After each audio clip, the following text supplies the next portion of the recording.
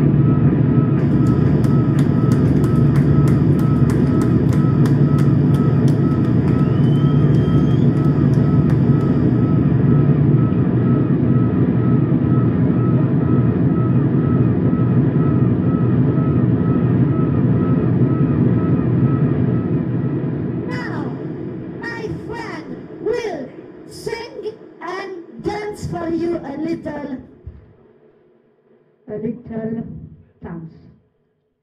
Okay. Come on, baby. Come on. Don't be shy.